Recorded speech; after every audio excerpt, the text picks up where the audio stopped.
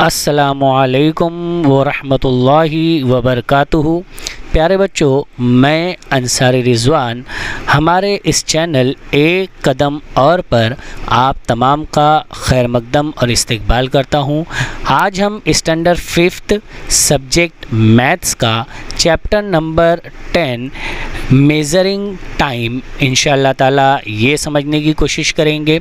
बच्चों, आपने घड़ी तो देखी ही है, लेकिन इस घड़ी के अंदर हमें ये समझना है कि हम different term use in analog watch यानी सबसे पहले चीज़ तो हमें एनालॉग वॉच किसे कहते हैं, ये समझना है। फिर उसके अंदर डिफरेंट टर्म कौन सी यूज़ होती है, जिसकी मदद से हम सही टाइम बता सके। और फिर हम आखिर में प्रॉब्लम सेट नंबर 43 ये समझेंगे। तो आइए हम शुरू करते हैं different term use in analog watch से। बच्चों, आपने दो तरीके की घड़ियाँ अपने आसपास में देखी होंगी। दोनों घड़ियों का सैंपल हमने आपके सामने रखा है। ये पहली घड़ी है जिसके अंदर वक्त को नंबर्स यानी डिजिट्स के ज़रिए से डायरेक्टली बताया गया है। इस वॉच को हम डिजिटल वॉच कहते हैं। इसमें हमें कोई कैलकुलेशन नहीं करना पड़ता। हम डायरेक्टली देख करके बता सकते हैं, जैसे बारह बज के तेईस मिनट और यहाँ बयालीस सेकंड हुए हैं। तो हमें डिजिटल वॉच के ज़रिए से टाइम डायरेक्टली मालूम पड़ता है। हमें उसे कैलकुलेट करना नहीं पड़ता। जबकि ये जो हमारे घरों के अंदर अक्सर हम इस तरह की घड़ी इस्तेमाल करते हैं, हम इसे एनालॉग वॉच कहते हैं। बच्चों, एनालॉग वॉच में क्या होता है कि घड़ी की सुइयाँ होती है तीन तरीके की और उनकी मदद से हम टाइम कैलकुलेट करते हैं। आइए हम समझते हैं कि इन सुइयों को इंग्लिश में क्या कहा जाता है। जो सुई सबसे जल्दी जल्दी चलती है, हम उसे सेकंड हैंड कहते हैं। ठीक है, ये लाल कलर की, ये बहुत जल्दी जल्दी चलती है, हम इसे सेकंड हैंड कहते हैं। इसी तरीके से एक और सुई होती है, जो थोड़ी सी मोटी होती है और लंबी होती है, जिसकी हरकत हमें बज़ाहिर दिखाई नहीं देती। वो हमारी मिनट हैंड होती है, यानी मिनट की सुई होती है। और तीसरी, जो सबसे छोटी होती है और थोड़ी सी मोटी होती है उसे हम हार हैंड, यानी ये घंटे की सुई होती है। ठीक है बच्चों? तीनों सुइयों को याद रखेंगे। आइए अब हम देखते हैं। देखिए, ये जो सेकंड की सुई है, ये 12 से जब एक पर आई तो ये पाँच सेकंड का इसने वक्त लिया।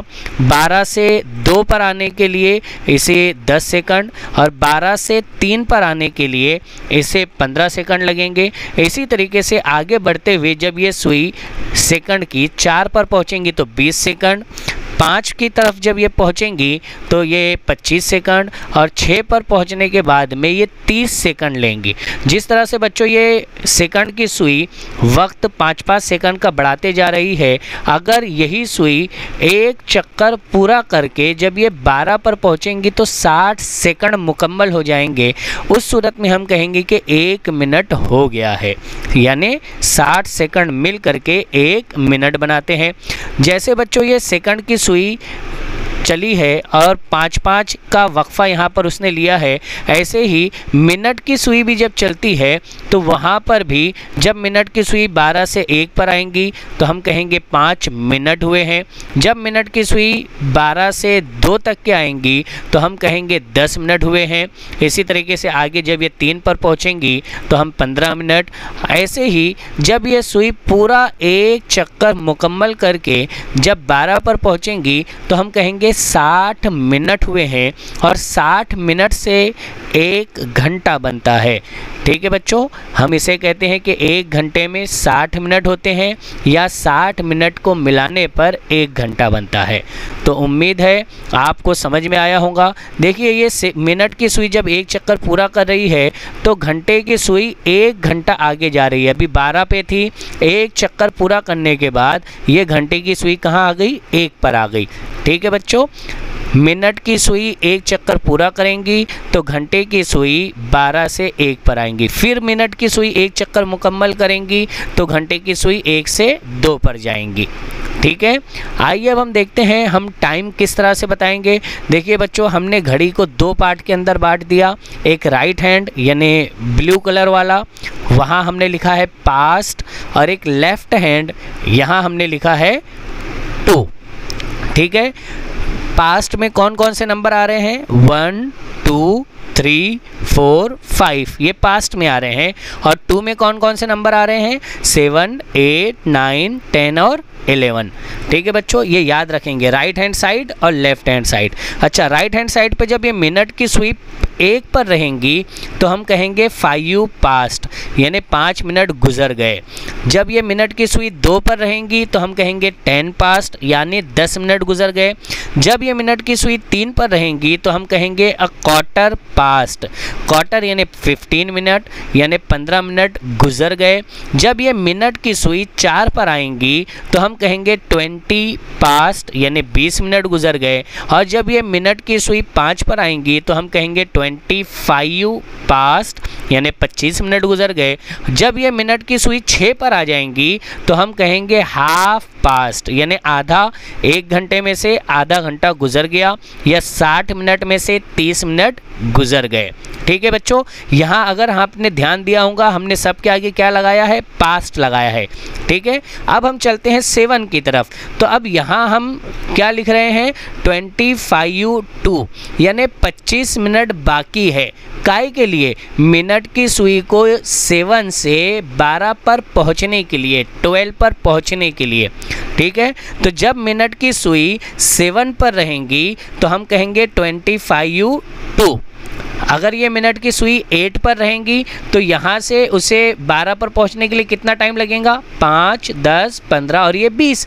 तो हम कहेंगे ट्वेंटी टू जब ये मिनट की सुई नाइन के ऊपर रहेंगी तो यहाँ से पंद्रह मिनट उसे बारह पर पहुँचने के लिए लगेंगे. पंद्रह को हम कहते हैं क्वार्टर और ये नाइन के ऊपर है तो हम कहते हैं टू ठीक है बच्चों? ऐसे ही अगर ये मिनट की स्वीट टेन के ऊपर रहेंगी तो बारह तक पहुँचने के लिए टेन मिनट लगेंगे तो हम कहेंगे टेन टू। और आगे जब ये एलेवन पर रहेंगी तो हम कहेंगे फाइव टू। और अगर मिनट की सुई एग्जैक्टली ट्वेल्व के ऊपर है तो हम कहते हैं ओ क्लॉक।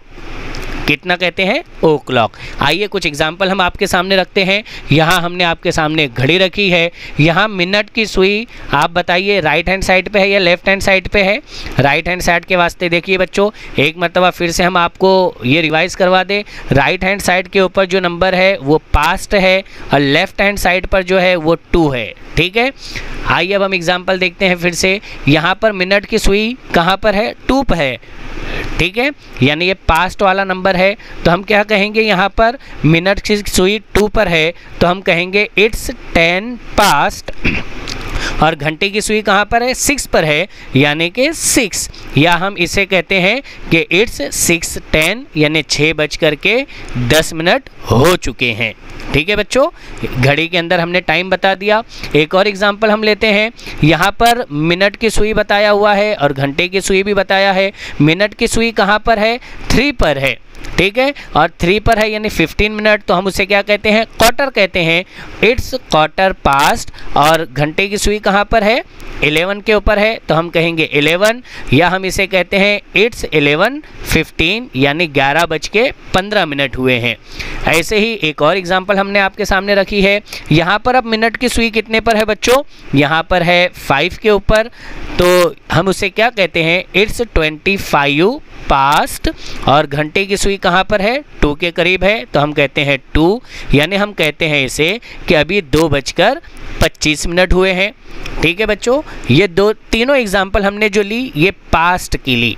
अब जो एग्ज़ाम्पल हम लेने जा रहे हैं बच्चों, ये देखिए, ये कौन सी है? जी हाँ अब यहाँ पर मिनट की सुई कहाँ पर है? 11 पर है।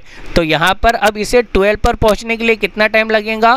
5 मिनट लगेंगे तो हम कहेंगे फाइव टू और यहाँ पर ये घंटे की सुई कितने पर है? 4 पर है। तो हम कहेंगे 4 ठीक है? यानी चार बजने में पाँच मिनट बाकी है। हम ये भी कह सकते हैं। और दूसरा यहाँ पर बच्चों याद रखेंगे, हम इसे 355 ये भी कह सकते हैं, यानी तीन तो पूरे बज गए हैं और 55 मिनट और हो गए हैं। ये 55 मिनट जब आगे जा कर के पूरे 12 पे ये मिनट की सुई पहुँच जाएँगे तो चार पूरे बज जाएँगे। तो हम दोनों तरीके से कह सकते हैं इसे कि चार बजने में पाँच मिनट बाकी है, या हम ऐसा भी कह सकते हैं, तीन बज कर के पचपन मिनट हुए हैं। याद रखेंगे बच्चों, ठीक है? जब टू वाला टाइम आता है तो हम उसे दो डिफरेंट मेथड से हम इसको बता सकते हैं। एक और एग्जांपल हम आपके सामने लेते हैं। यहाँ पर देखिए मिनट की सुई कितने के ऊपर है? नाइन के ऊपर है, यानी क्वार्टर हम यूज़ लफ्ज़ यूज़ करने वाले हैं, और क्वार्टर टू और यहाँ पर एट के ऊपर है, यानी आठ बजने में अभी पंद्रह मिनट बाकी है। ठीक है? ये आठ मुकम्मल कब बच जाएँगे? जब ये मिनट की सुई 12 पर पहुँच जाएँगी, और मिनट की सुई को 12 पर पहुँचने के लिए कितना टाइम लगने वाला है? 15 मिनट तो हमने लिख दिया क्वार्टर टू एट या फिर हम और क्या कह सकते हैं यहाँ पर? कि यहाँ पर सात बज करके पैंतालीस मिनट हो चुके हैं। सात बज करके पैंतालीस मिनट हो चुके हैं। ठीक है बच्चों? आइए, एक और एग्जांपल हमने आपके सामने यहाँ पर रखी है। यहाँ पर देखिए मिनट की सुई कितने पर है? टेन पर है। यानी हम कहेंगे टेन टू और यहाँ पर घंटे की सुई भी टेन के करीब है तो हम कहेंगे इट्स टेन टू टेन या फिर हम इसे क्या कहेंगे बच्चों? इट्स टेन टू टेन यानी दस में दस कम है। दस बजने में दस मिनट अभी बाकी है। या फिर मैं इसे और क्या कह सकता हूँ? इट्स नाइन फिफ्टी कि नौ बज करके पचास मिनट हुए हैं, दस मिनट के बाद में पूरे दस बच जाएँगे।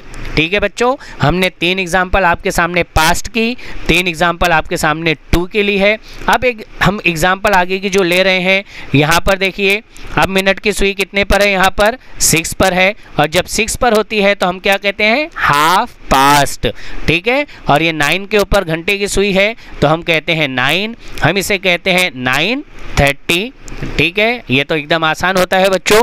और एक एग्ज़ाम्पल हमने यहाँ पर लिया है। मिनट की सुई यहाँ पर कितने पर है? अगेन ये सिक्स के ऊपर है तो हम कहेंगे हाफ़ पास्ट और घंटे की सुई पाँच के और सिक्स के बीच में है तो हम पाँच कंसिडर करेंगे। हम कहेंगे five it's half past five यानी हम इसे कहते हैं फाइव थर्टी हुए हैं। ये दो एग्ज़ाम्पल हमने हाफ़ पास्ट के लिए। अब आगे की एग्ज़ाम्पल हम ले रहे हैं बच्चों। देखिए, यहाँ घड़ी में कितने बजे हैं? यहाँ अगर हम देखें तो मिनट की सुई एग्जैक्टली कितने पर है? ट्वेल्व के ऊपर है।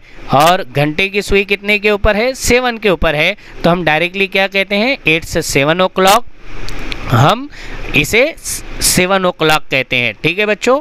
अगर यहाँ पर मिनट की सुई ट्वेल्व पर और घंटे की सुई टू पर है तो हम इसे क्या कहते हैं? इट्स टू ओ क्लाक यानी दो बजे हैं। ये दोनों एग्ज़ाम्पल हमने कंप्लीट टाइम जो हुआ है, मुकम्मल टाइम उसके लिए है। आइए अब हम देखते हैं प्रॉब्लम सेट नंबर 43 को। यहाँ पर दिया है write the time shown in each clock in the box given below it यहाँ पर पहली घड़ी दी हुई है। हमें यहाँ पर इसका टाइम बताना है बच्चों। मैं यहाँ पर एक तरीके से टाइम बताऊँगा। आप दूसरे तरीके से खुद टाइम इसके नीचे लिखेंगे, ठीक है? जैसे यहाँ पर मिनट का घाटा है फाइव पर तो मैंने यहाँ लिख दिया इट्स ट्वेंटी फाइव पास्ट ठीक है? आगे है टू तो यहाँ पर मैंने लिख दिया two it's twenty five past two हम इसे ये भी कह सकते हैं, या हम इसे और क्या कह सकते हैं? आपने यहाँ पर नीचे वो टाइम लिखना है, ठीक है? ये एक तरीका हो गया। दूसरे एग्ज़ाम्पल हम लेते हैं, यहाँ पर हमने लिखा है कि मिनट का काटा यहाँ कितने पर है? एट पर है तो हमने लिख दिया इट्स ट्वेंटी टू और घंटे का काटा फाइव पर है तो हमने लिख दिया five it's twenty to five इसको भी हम और क्या कह सकते हैं? जैसे मिसाल के तौर पर फॉर एग्ज़ाम्पल मैं यहाँ पर आपको बता देता हूँ कि मैं ऐसे कहता हूँ कि यहाँ पर चार बज के चालीस मिनट हुए हैं। क्या मैंने ये सही कहा? आप इसको वेरीफाई करेंगे और नीचे यहाँ पर दोनों एग्जाम्पल्स के अंदर सेकंड मेथड से भी टाइम लिखेंगे। बाकी की दो घड़ियों के अंदर दोनों तरीक़ों से, ये पहला मेथड और डायरेक्टली हम जो टाइम बताते हैं वो दूसरा मेथड दोनों मेथड से आप बच्चों टाइम लिखेंगे इसके अंदर। सेकंड क्वेश्चन है draw the hands of the clock to show the time given in the box हमें एक घड़ी दी हुई है, नीचे टाइम बताया हुआ है और हमें हैंड्स ड्रॉ करने हैं, यानी मिनट और सुई मिनट और घंटे की सुई बनानी है। तो फोर, हमने ये फोर के ऊपर और थर्टी, यानी छः के ऊपर हमारा टाइम हो गया। आंसर आ गया हमारा फोर थर्टी, ठीक है? सेकंड है, क्वार्टर पास्ट नाइन। तो क्वार्टर यानी 15 के ऊपर, यानी 3 के ऊपर हमें लेना है। पास्ट बोला है ना बच्चों? क्वार्टर टू नहीं बोला है। अगर टू बोलता तो हम ये मिनट की सुई कहाँ रखते? नाइन पर। लेकिन इसने क्या कहा है? पास्ट क्वार्टर पास्ट तो इसीलिए हमने मिनट की सुई कहाँ रखी है? थ्री के ऊपर। और आगे घंटे की सुई कहाँ रखनी है? नाइन के पास में। बाकी के दो एग्ज़ाम्पल के अंदर आपने इसके अंदर खुद हैंड्स ड्रॉ करने हैं। मिनट और घंटे की सुई आपने खुद बना करके, जो टाइम नीचे दिया हुआ है उससे मैच करना है। नेक्स्ट एग्ज़ाम्पल हम देते हैं if a bus that travel Nashik at a five o'clock in the morning reaches Pune that same day at 10:30 in the morning, how long does the journey take? यानी अगर एक बस नासिक से निकलती है पाँच बजे सुबह, और वो पूना पहुँचती है उसी दिन दस बज कर के थर्टी मिनट्स यानी कि तीस मिनट पर सुबह ही, रात के नहीं, ठीक है? सुबह पाँच बजे बस नासिक से निकली और सुबह दस बज के तीस मिनट पर वो पुणे पहुँच गई। तो how long does the journey take तो कितने देर का, कितने घंटे की हमारा जर्नी रहा?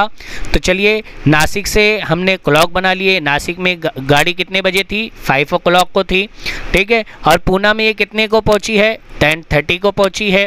तो हमने यहाँ लिख दिया कि पूना ये टेन थर्टी को पहुँची है। अब हम क्या देखेंगे बच्चों कि ये फाइव से टेन थर्टी तक के कितना टाइम हो रहा है। तो फाइव से जब ये सिक्स होगा तो ये एक घंटा होगा। सेवन पे दो एट पे तीन नाइन पे चार और टेन पे कितने घंटे हो जाएँगे? पाँच घंटे हो जाएँगे। तो मैंने यहाँ पर लिख लिया फाइव आवर्स तो ये पाँच से दस बजे तक कितने घंटे हो गए? पाँच घंटे हो गए। ऊपर से ये तीस मिनट और है। ठीक है टेन थर्टी है ना, तीस मिनट और है, साढ़े दस बजे पहुँची है, दस बजे नहीं तो हमने तीस मिनट इसके अंदर और मिला लिया तो हमने क्या कह दिया ट्रैवलिंग टाइम कितना है, साढ़े पाँच घंटे का हमारा ट्रैवलिंग टाइम है, ठीक है बच्चों? आगे का क्वेश्चन हम देखते हैं a play that was to start at nine fifteen at night एक प्ले जो स्टार्ट होना था, रात में नौ बज कर के पंद्रह मिनट पर delayed by half an hour because of power outage वो बिजली की सप्लाई की वजह से आधा घंटा लेट हो गया। What time did the play start तो बताइए टाइम कितने बजे वो प्ले स्टार्ट हुआ होगा? चलिए हम देखते हैं। पहले क्या है कि प्ले कितने बजे स्टार्ट होना था? 9:15 को। हमने ये 9 और ये 15 ये 9:15 हमने ले लिया। ये नाइट के है। ठीक है? और वो कितना डिले हुआ? हाफ़ आवर डिले हुआ। तो यहाँ से हाफ़ आवर यानी कितना बच्चों? हाफ़ एन आवर ये होता है कि तीस मिनट। तो ये मिनट की सुई को हम, ये पाँच मिनट, दस मिनट, पंद्रह मिनट, बीस मिनट, पच्चीस मिनट और ये तीस मिनट, ये मिनट की सुई को हम यहाँ लेकर के आएँगे। तो हमारी घड़ी किस तरह से हो जाएँगी? इस तरीके से हो जाएँगी। अब बताइए ये टाइम क्या हुआ है? तो आप कहेंगे इट्स क्वार्टर टू टेन या फिर नाइन फोर्टी फाइव ये भी आप कह सकते हैं। तो हमारा प्ले कितने बजे स्टार्ट हुआ होगा? क्वार्टर टू नाइन टेन को या नाइन फोर्टी फाइव को? ठीक है बच्चों? नेक्स्ट एग्ज़ाम्पल जो है if a train leaves Mumbai at ten fifteen at night अगर ट्रेन मुंबई से रात में दस बज के पंद्रह मिनट पर निकलती है and reaches Nagpur at one forty और वो नागपुर एक बज करके चालीस मिनट पर पहुँचती है अगले दिन दोपहर में, ठीक है? नेक्स्ट आफ्टरनून यानी अगले दिन दोपहर में वो एक बज के चालीस मिनट पर नागपुर पहुँचती है। How long does the journey take तो कितने घंटे की हमारी जर्नी हुई? मुंबई में ये कितने बजे थी? मुंबई में थी ये टेन फिफ्टीन को, हमने लिख दिया। और ये नागपुर कितने बजे पहुँची है? वन फोर्टी को, ठीक है बच्चों? हमने 140 ले लिया। अब आपने इसके अंदर सिर्फ़ काउंट करना है कि ये रात के अभी सवा दस बजे हैं, ठीक है? फिर रात के सवा ग्यारह, सवा बारह, रात का सवा बजेगा, सवा दो, सवा तीन, सवा चार, सवा पाँच। इस तरह से ये एक बज के चालीस मिनट तक के कितने घंटे हो रहे हैं, आपने ये खुद कैलकुलेट करके लिखना है। आज के लेक्चर में हम इतना ही सीखेंगे। आने वाले लेक्चर में हम सीखेंगे ante meridiem and post meridiem किसे कहते हैं। 24 आर क्लॉक क्या होती है और प्रॉब्लम सेट नंबर 44 इसी के बेस के ऊपर हम इनशाला ताला सॉल्व करेंगे। आज के लेक्चर में इतना ही। जजाकल्ला खैर व अहसनुल जजा। असलकम वरहमल वर्का